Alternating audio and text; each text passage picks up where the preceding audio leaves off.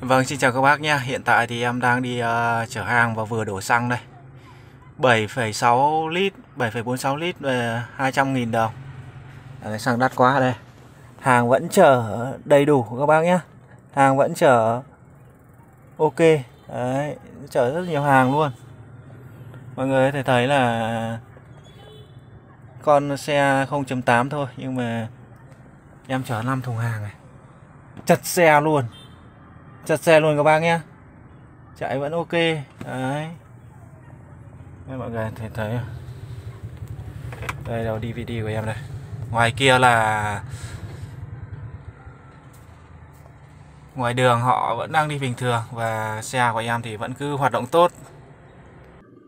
Còn phía bên này các bác xem nhé. Đây là con Mazda 323 Đấy, con Mazda 323 mà cái đời rất là sâu rồi. Khoảng năm 93 đến 96 hay 98 gì đó riêng cái dòng Mazda này này anh em nào mà mua được cái con xe nào còn chất nó chạy hơi cũng ok đấy nhưng mà cũng khá là uống xăng.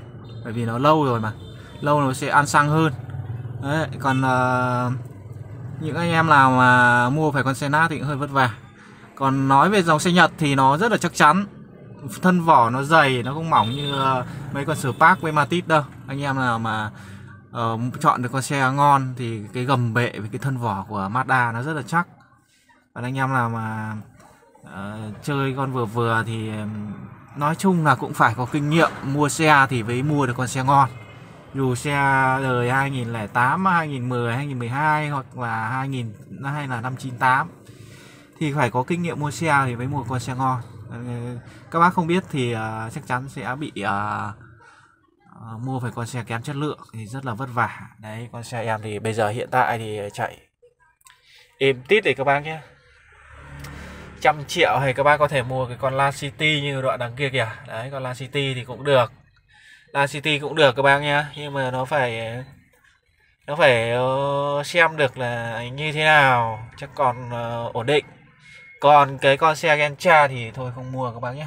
Mua làm gì con Gentra nó bệnh òa ga nặng còn ờ, gần như con nào cũng ờ, nó còn bị nặng hơn của con uh, Spark này bị nặng hơn của con uh,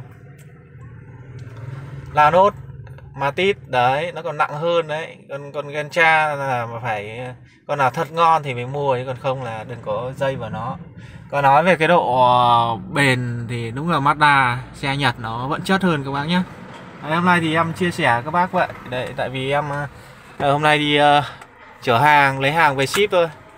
Làm thì cũng à, công việc mùa covid nó cũng hơi à, bấp bênh tí nhưng mà kiếm đồng la đồng vào vậy các bác ạ. Đấy. Bác thấy chưa? Em chở 5 thùng là trong này toàn chảo nhỏ nhỏ các bác nhé chảo này với lại kẹp điện thoại các thứ đây.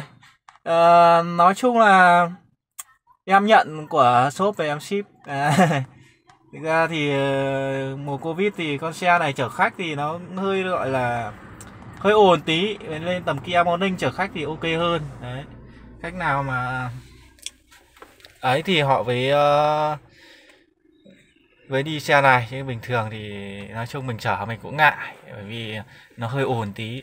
Phải Kia Morning các bác nào ngồi lên Kia Morning thì nó sẽ à, chắc chắn hơn khá là nhiều. Còn anh em mà mua về à, che mưa che nắng à, mà có tiền đổi xăng thêm một tí thì mua Mazda 323 này được mỗi tội mã hơi xấu tí còn uh, chạy Matic với lại uh, Spark thì gần như là kinh tế nhất rồi. Đó thì hôm nay em cũng chia sẻ đến các bác là cái dòng xe của em thì vẫn chạy ngon lành các bác nhá. các bác có mua con xe cỏ thì cứ mua về thôi. À, chọn con hợp lý mua nhá thì sẽ ổn định. À, nên dẫn người có kinh nghiệm hoặc là mình có kinh nghiệm thì cũng đi mua. Đấy. Thì xin chào tất cả các bác nhé chúc các bác một ngày mới tốt lành.